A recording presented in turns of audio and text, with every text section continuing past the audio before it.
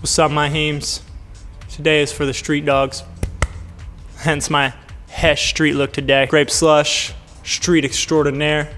Never landed a buttercup in my life. It's because I'm street. Today, for the street dogs, we're gonna be doing top five street decks. Today, as I told you, top five street decks. Bottom four, no order, they're all in the same. They all got second place. They all tied four-way tie for second place. First place, got first place. All right, so we'll just go with this guy first. Pandemonium. Say it with me, kids.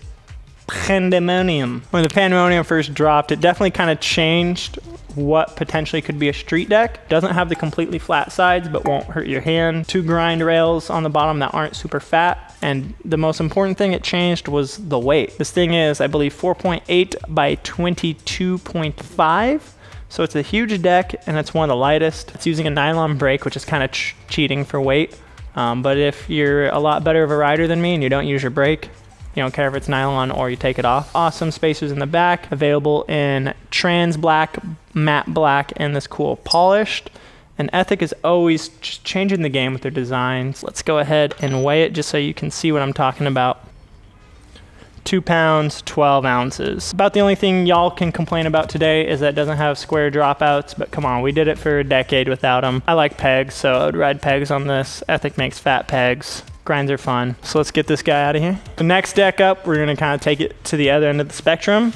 We had the light one before, now we have the tank. And just while I still remember two pounds, 12 ounces, I just wanna compare it. What? four pounds, four ounces.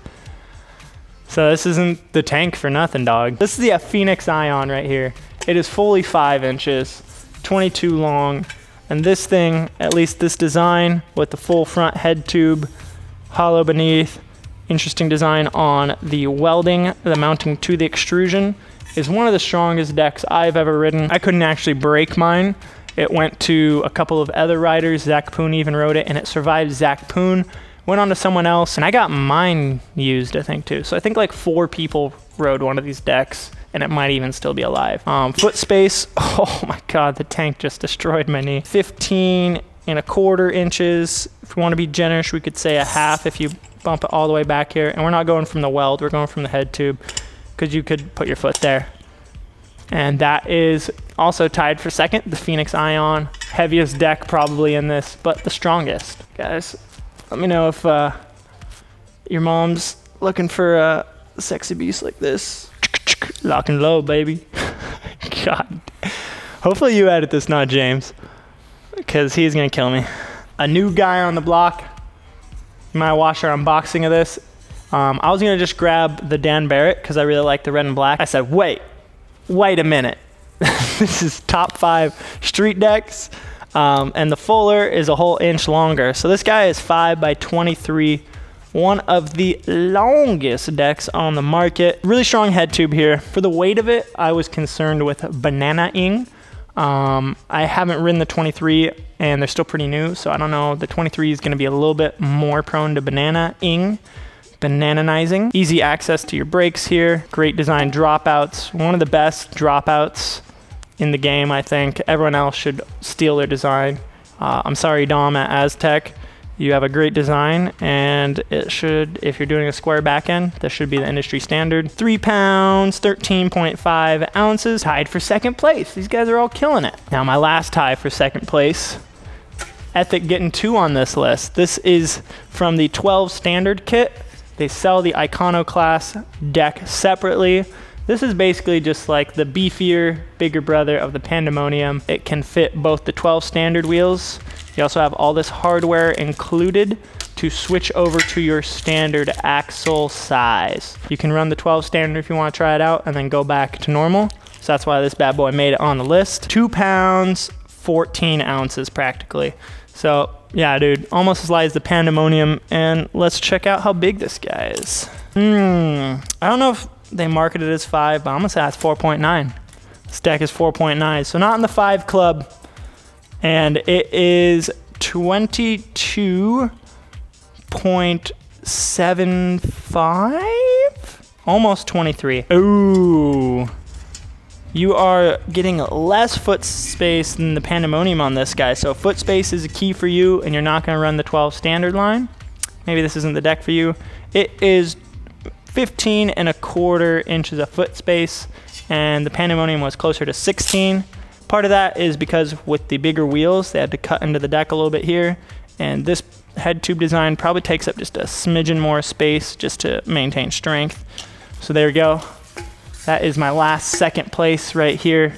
Guys, we had a four-way tie. Let's take a look at our, our four-way tie real quick. These are four of your top five street decks as the market currently sits.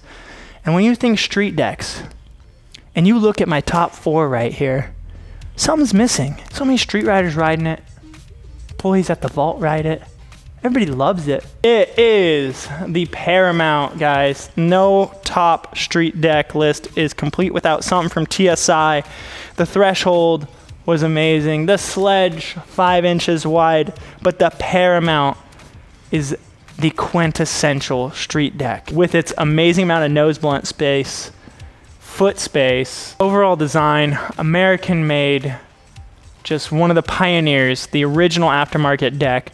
TSI will always be at the top of our hearts, top of our minds, and the top of this top five street deck list. In all seriousness, uh, TSI, Paramount, phenomenal deck, really lightweight. Didn't really change the game. Someone else has done it before with a thinner profile, but they made it really stick. The other decks came and went. The Paramount is going nowhere. Uh, the only drawback with the Paramount is the durability factor here. Uh, the Paramount might be the least longest life out of these top five decks due to the head tube design. They're toying with some new designs here, but with those new designs, you might lose all this beautiful nose blunt space and this extra foot space. So I think it's a fair trade-off. It's pretty average for someone to get um, two to six months out of these guys. And if having the best feeling deck is what you guys need, Paramount is totally worth it. And you're supporting USA, baby. So that's three pounds, 10 ounces. That puts it into one of the lightest street decks we have. And if you haven't ridden a TSI, you don't really know what I mean by saying it's the best feeling deck.